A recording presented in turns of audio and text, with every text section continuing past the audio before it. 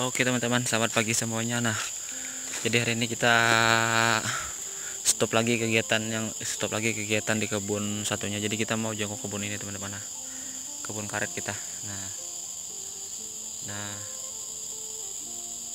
nah, tuh. Ini nih, ini yang disemprot kemarin nah tuh bisa lihat sendiri kan teman-teman nah rumputnya sudah mati nah jadi kelihatannya bersih nah itu yang di sana sudah tumbuh lagi tuh. Nanti satu bulan lagi kita semprot. Nah, pak supaya rimbun dulu rumputnya baru kita semprot. Nah semprotan kita yang kemarin bersama Ahmad Dudung sudah mati. Nah, nah. rumput liarnya sudah mati. Nah kalau ini memang tidak mati soalnya ini jenis tadi jenis tanaman yang keras jadi tidak mati kalau disemprot pakai obat itu kecuali menggunakan obat-obat yang lain. Nah tuh.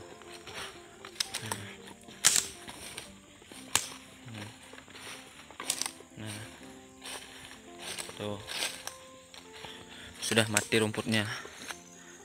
Nah itu kalau yang tumbuh ada rumput yang hijau-hijau itu punya orang itu batasnya cuma sampai di sini batasnya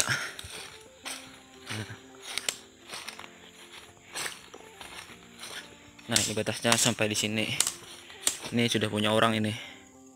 Nah sudah punya orang. Ini sampai di sini batasnya. Nah tuh sana. Habis itu belok lagi ke sana.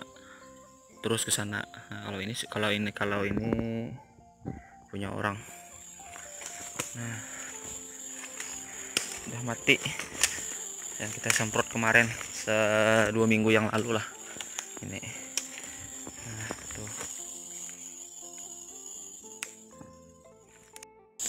jadi ini juga iya teman-teman nah. Tapi ini tumbuhannya sudah tumbuh nah. Pohon-pohon kecilnya sudah tumbuh nah. Jadi kita tebas dulu menggunakan parang habis itu kita semprot. Nah tuh. Nah, kita tebas dulu. Habis itu kita semprot. Nah, ini juga lama terbengkalai nah. Nah aduh bingung bingung nah, tuh tuh hasil kita nebas kemarin tuh. Nah coba teman-teman cek videonya. Saya lupa episodenya episode yang keberapa. Cuma ada di bawah. Coba saja cek kalau kalian mau lihat. Nah tuh. Nah tuh di sana juga ya tuh. Tuh di sana. Hijau semua. Rumput liar nah. Tuh. Nah, jadi rencana kita mau tebas yang ini dulu nah. Nah tebas yang ini. Habis itu kita semprot. Tuh sudah ada, ada bawa obatnya sama bawa semprotannya tempat atau tangki kalau di sini orang bilang. Nah, hijau. Beda dan di sana. Kalau di sana sudah kuning sudah mati sudah kering rumputnya. Oke lanjut. Kita mau menebas dulu sebentar baru kita semprot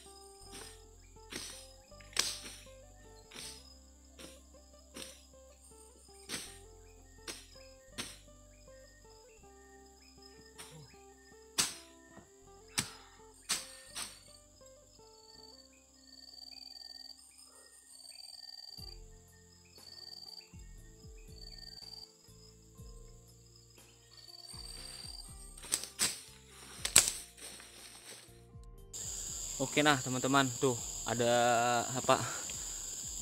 Ada lubang besar tuh. Nah di dalam tuh. Nah lubangnya teman-teman. Ini biasanya pasti ada binatang yang pasti ada ular nih di dalam. Nah biasanya kalau besar lagi lubangnya ada terang ada terang nih. Tapi kalau kecil seperti ini biasanya ular piton di dalam. Soalnya di dalam tuh ada tumpukan ada apa? Kayaknya luas di dalam karena ada tumpukan tanah itu lubangnya teman-teman nah. Pasti ada binatang nih di dalam. Kalau enggak apa ular piton. Biasanya kalau ada manda petualang nih bisa dapat ular piton beliau. Nah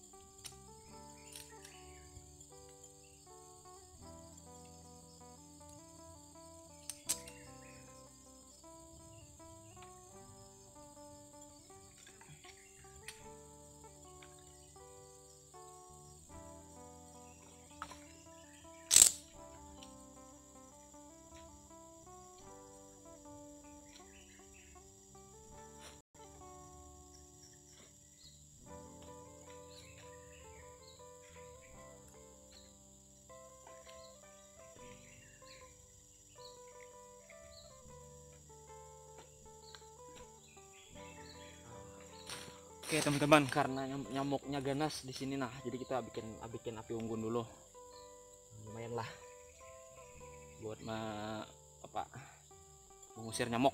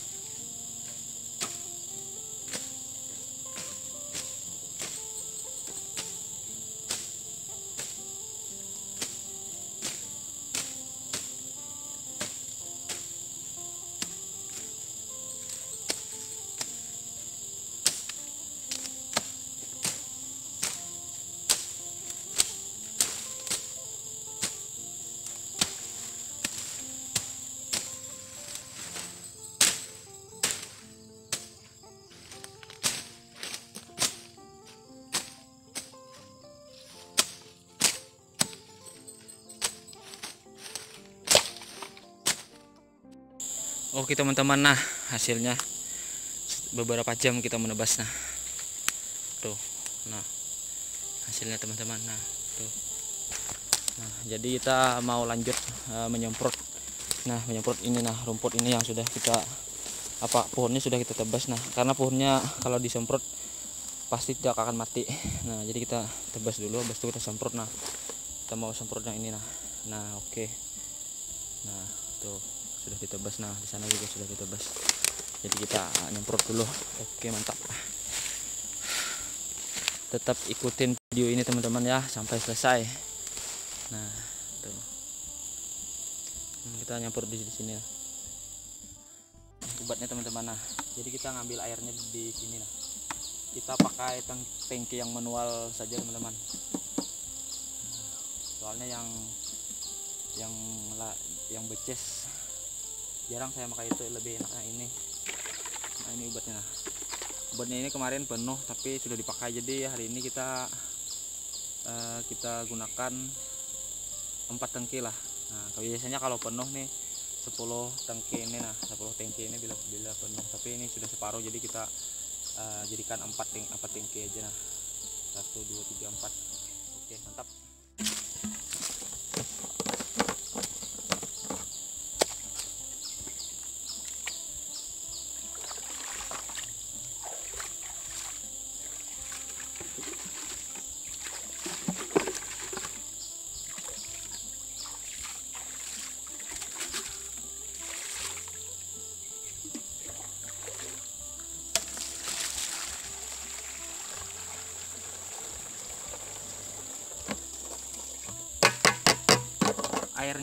banyak lumut.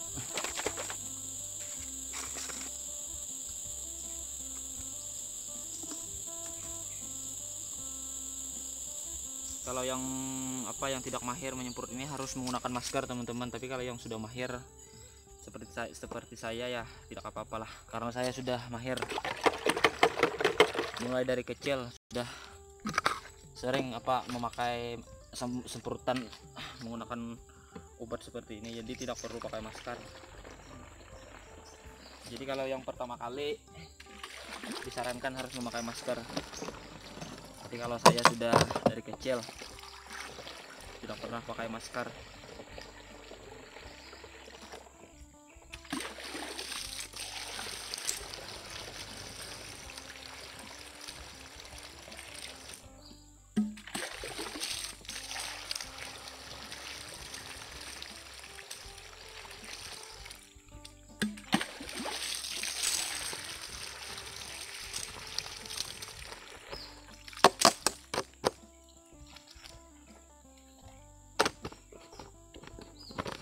jadi kalau bagi-bagi pemula harus menggunakan masker penutup mulut